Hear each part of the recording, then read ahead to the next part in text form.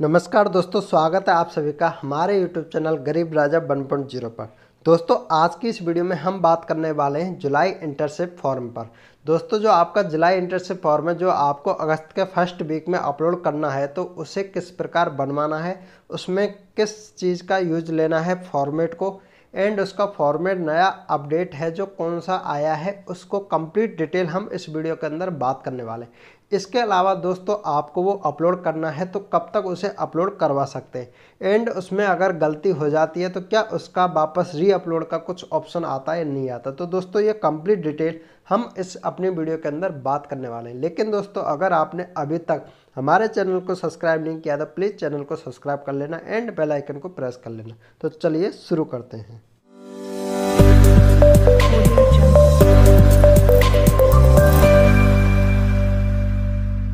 दोस्तों, सबसे पहले मैं आपके लिए बताता हूँ कि आपका जो फॉर्म है मंथली, आप जो इंटरशिप के लिए बनाते हैं तो आपको कहीं भी फॉर्मेट को चेक करने की ज़रूरत नहीं है।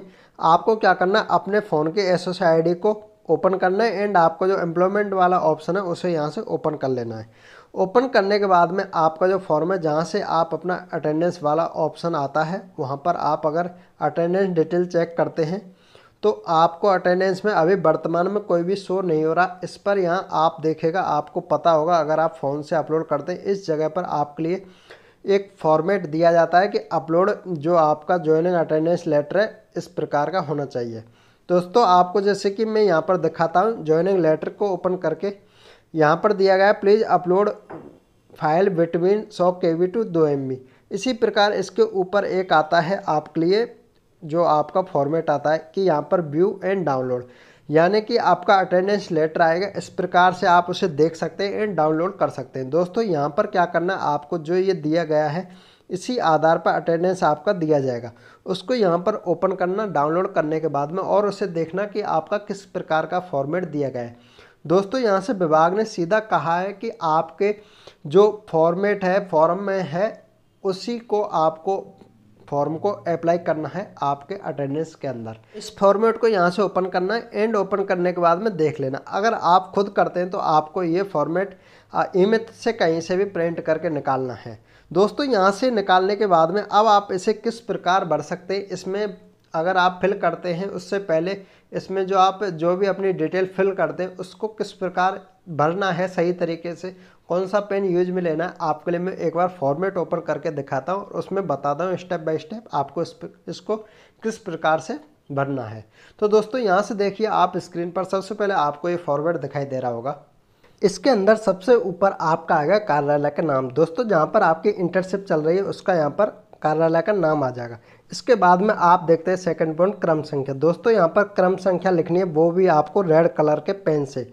इसके बाद आपको इस पर डेट लिखनी है। जिस दिन आपका ये फॉर्म यहाँ से फॉर्मेट जारी होता है इंटरशिप वाला, उसकी यहाँ पर डेट डाल देनी है।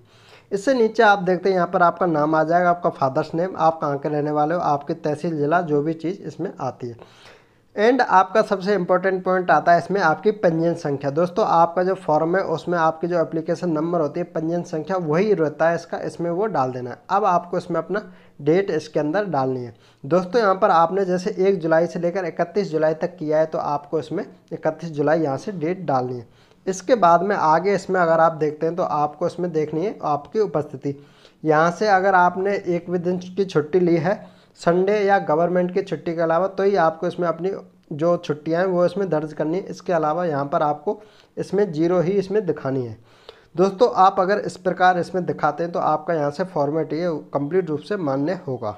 लास्ट में ये आपके फॉर्म पर लिखा हुआ ज़रूर होना चाहिए कि यह प्रमाण पत्र केवल बेरोजगारी भत्ता प्राप्त करने के लिए मान्य है। इसके आधार पर हम किसी भी अन्य नौकरी या प्राथमिकता में यहाँ दावा या क्लेम नहीं किया जा सकता। ये गहरे जो ब्लैक कलर आता है, उसमें आपका ये लिखा हुआ ज़रूर होना चाहिए। इसके बाद में आपका आता है हस्ताक्षर एंड मोहर। तो दोस्तों, यहाँ पर आप जिस विभाग में इंटरशिप कर रहे हैं, उसकी मोहर लगेगी। कैंडिडेट वहाँ के अधिकारी के यहाँ पर इस पर हस्ताक्षर होंगे एंड उसकी डेट यहाँ पर आनी चाहिए। वो भी डेट वाले कंप्लीट फॉर्मेट इसमें। हो सके तो आप उनका मोबाइल नंबर भी यहाँ पर लिख सकते हैं। तो दोस्तों, ये कंप्लीट डिटेल इसके अंदर होनी चाहिए। तो इस प्रकार अगर आप अपने फॉर्मेट बनाते हैं तो आपका फॉर्मेट बिल्कुल सही होगा। आप उसमें कुछ भी कमी यहाँ से निकाल नहीं सकते। तो दोस्तों, आपको जानकारी कैसे लगी हमें कमेंट करके बता देना। वीडियो अच्छी लगी तो प्लीज़ वीडियो को लाइक करना, हमारे चैनल को सब्सक्राइब कर लेना। मिलते हैं अगली वीडियो में, तब तक के लिए धन्यवाद। अगर वीडियो पसंद आया हो तो वीडियो को लाइक एंड कमेंट करना ना भूलें। सब्सक्राइब करें हमारे यूट्यूब चैनल गरीब राजा वन को और लेटेस्ट अपडेट पाने के लिए बेल आइकन को प्रेस करना ना भूलें।